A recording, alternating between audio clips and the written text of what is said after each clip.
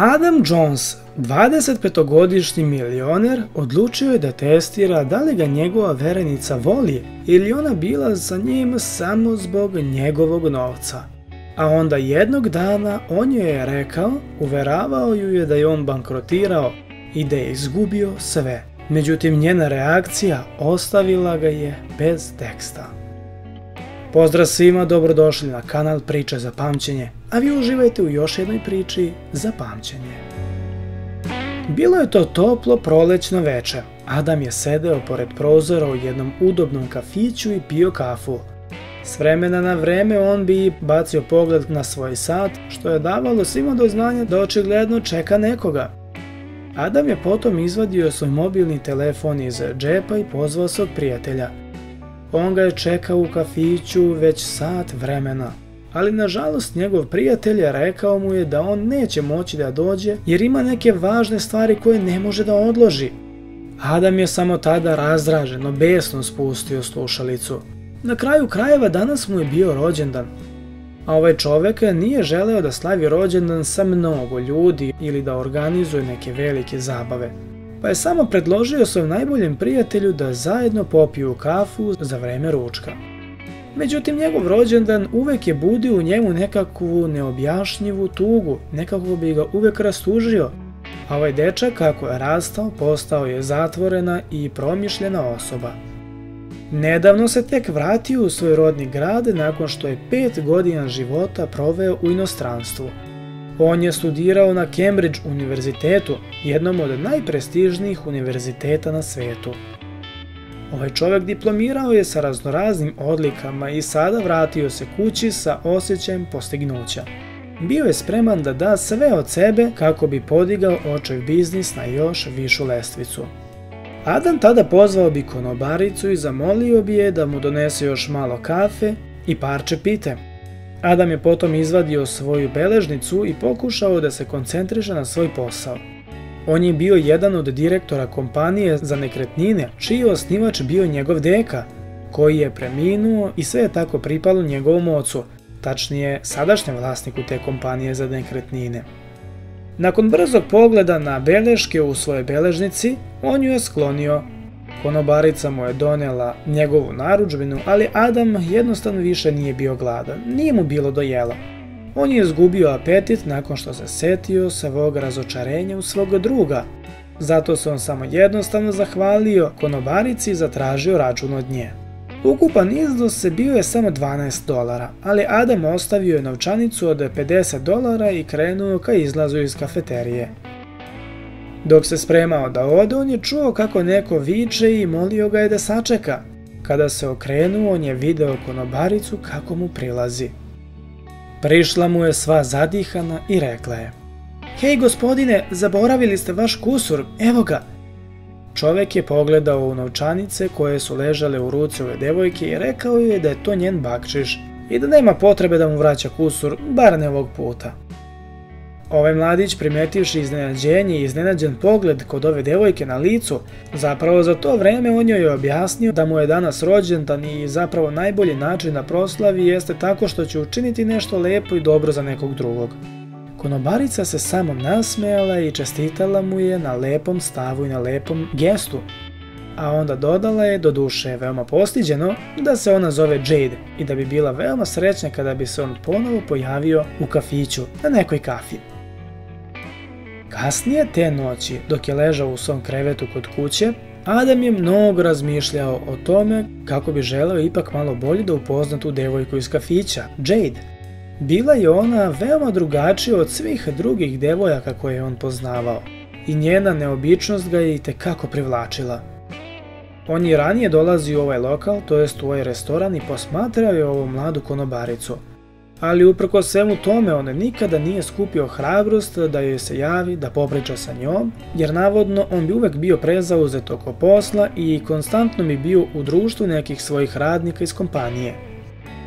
Uprko sa svom bogatstvu, Adam bio je usamljen čovek. On nikada nije imao sreće u emotivnim vezama sa devojkama i ovaj čovek upoznavao bi, nažalost, samo plitke žene – a to ga je dovoljno uplašilo da ne traži ni jednu drugu devojku već duže vremena. Ali susret sa Jade dao mu je potpuno drugačiji osjećaj, osjećaj koji nikada nije imao sa drugim ženama sa kojima je izlazio. Ona je izazivala neku vrstu utehe, istovremeno euforiju i nervozu, sve to jednostavno nekako bilo pomešano, jednostavno ovaj miks emocije bio mu je neobjašnjiv. Mladeć zaspao je sa svim ovim mislima na kraju krajeva, ali kada je ujutro otišao na posao, on je stigao u kancelariju i želeo je da pronađe svoju sekretaricu Chloe. Inače ona je bila prelepa mlada žena koja je uvijek nosila lep skupoce nakit, koja je uvijek oblačila samo dizajnersku odeću.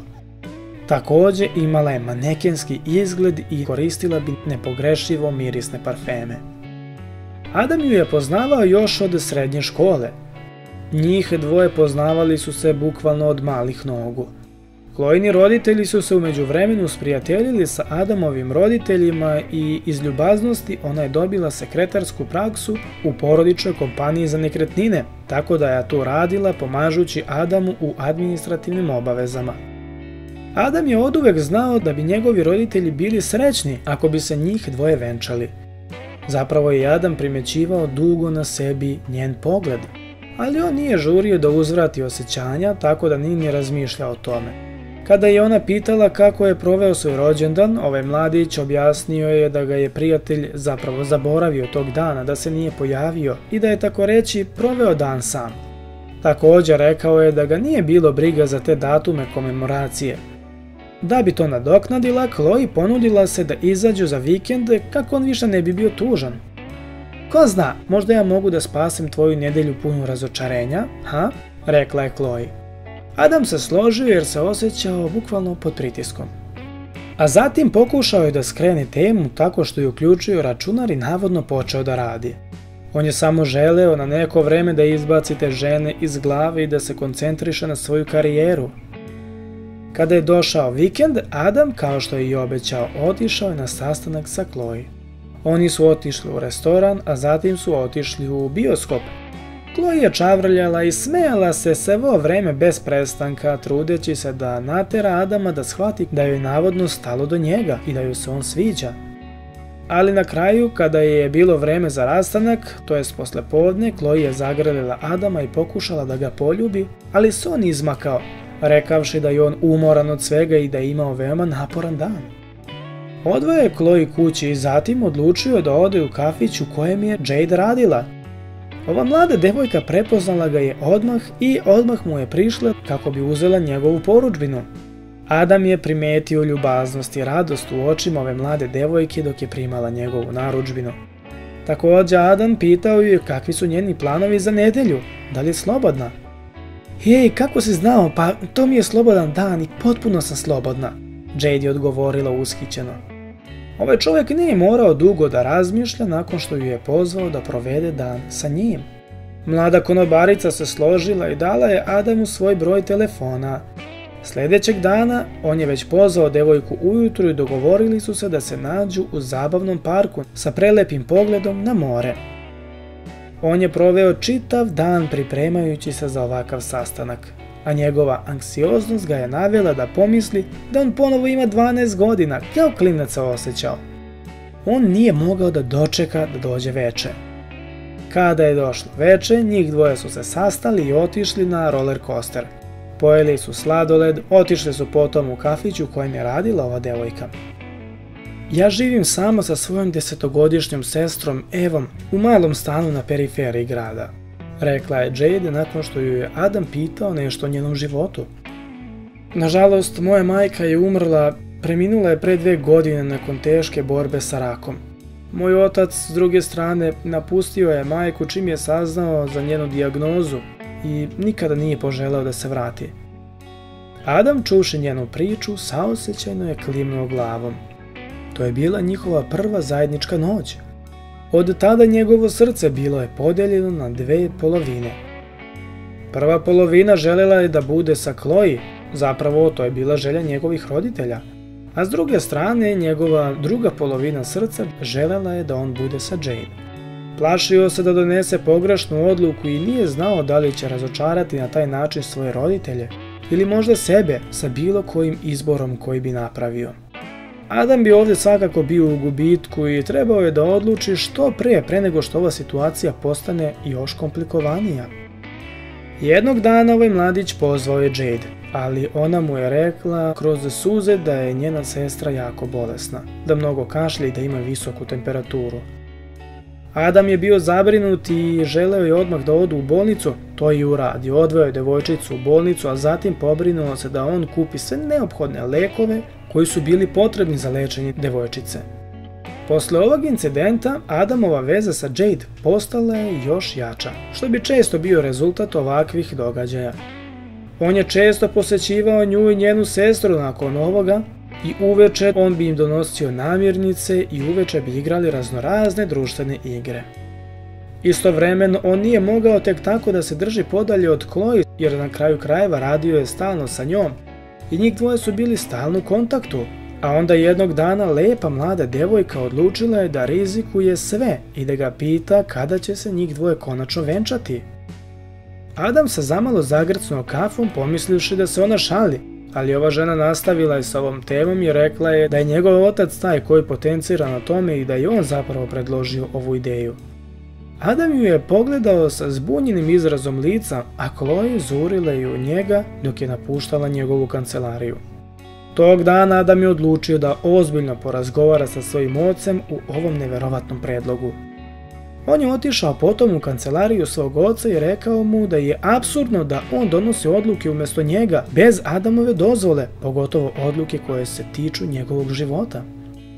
Otac ga je iznenađeno pogledao, a onda kada mu je sin ispričao za njegovu situaciju sa Chloe, otac samo se nasmeo i tada Adam mu je rekao da je on već odlučio šta će sa svojim životom. On je rekao svom ocu da gaji osjećanja već prema jednoj drugoj devojci, prema jednostavnoj, najobičnijoj konobarici iz udobnog kafića. I da je on zapravo namjeravao da oženi nju u budućnosti. Tata tada postao je poprilično zamišljen i nije bio siguran šta da odgovori. On je već imao vremena da pozove Klojine roditelje i da im kaže zapravo da je njihov sin spreman da se oženi, tada nastao je trenutak neprijatne tišine u kancelariji pre nego što je otac objasnio da bi ovaj brak bio dobar za posao sa nekretninama, jer pokušavao je da ubedi Klojnog deku da spoji svoje dve kompanije sa njihovom. I sa brakom njegove unuke, ove dve porodice postale bi jedna porodica i deka bi vrlo brzo doneo tu odluku da spoji njihove kompanije. Adam, kako je rekao, sumnjao i u suprotno, Rekao je da njegov otac zapravo bio prevaren u svemu ovome. Mladić je objašnjavao da kada je izlazio sa Chloe on je shvatio da je ona u stvari veoma plitka žena koju zanima samo njegov novac i ukazivalo je sve na to da društvo njenog dede zaista ne ide baš najbolje kao što je mislio njegov otac. Ali udajom za njega devojka bi sebi obezbedila i osigurala kvalitetnu bogatu budućnost prepunu luksuza. Upravo je ovo zaista zagolicalo maštu Adamovog oca, to ga je zaintrigiralo i učinilo ga je da on ipak povuče ručnu sa svojom prebrzom odlukom. Tako da je on smislio jedan plan rekavši sinu. Ok sine, dopusti mi da te navodno otpustim, da ovo isceniramo nekako. Reci svima sada da više ne radiš ovdje, da si otpušten, da jednostavno ne radiš u tatinoj firmi i da sam te se odrekao, naravno. Ti za to vreme budi kod kuće, navodno si bez posla, i reci u stvari Chloe da je naša kompanija na ivici bankrota, pa ćemo vidjeti da li će onda želeti da se uda za tebe, bez novca i bez posla. Ako i dalje bude želela da nastavi da se viđe sa tobom i da ti pruža podršku, onda znači da te voli, Adamov otac je rekao. Adamu se svidjela ova ideja, ali on je bio siguran da će ga Chloe sigurno napustiti ukoliko on bude ostao bez novca jer je ona obožavala luksuza način života i želela je da se uda samo za njega dok je on bio bogat. Otac se nije odlagao plan i odmah je objavio cijeloj kancelariji da je Adam upravo otpušten. Tada dok je Adam izlazio iz njegove kancelarije, on je ostavio vrata otvorena, a otac ga lamio je na njega kako bi čula cijela firma šta se dešava. Mladić odrekao se očevog bogatstva i sada treba da napusti kompaniju što je premoguće, ali tada Chloe je morala da pozove obezbeđenje. Kada je Chloe saznala kasnije da ga se otac odrekao i da je Adam sada ostao bez novca i nasljedstva, ona je otišla da ga vidi i da razgovara sa njim.